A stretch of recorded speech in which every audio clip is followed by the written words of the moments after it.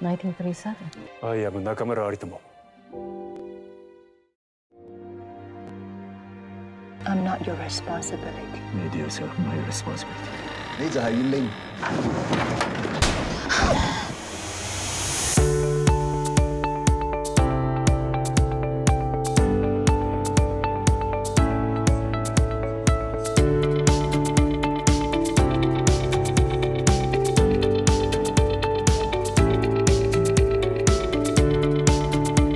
When I finished watching the movie, I, I, did, I, did, I did cry uh, because it was the, the actors and the actresses are incredibly talented and they brought a lot of feeling and emotion to um, the film.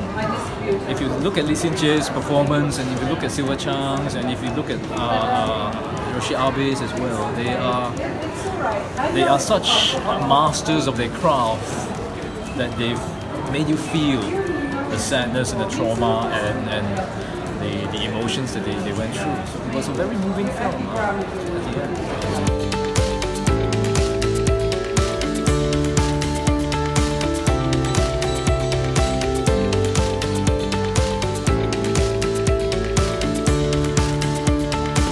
I felt very very uh, relieved first of all that it was it was a very good movie because I was you know like all writers who've had their work adapted to film you you're concerned that is it going to capture the, the spirit of the novel and I was very, very relieved that after watching the film uh, that the film actually retained the heart and soul of my book and it's a, it's a very powerful and moving film that they've created.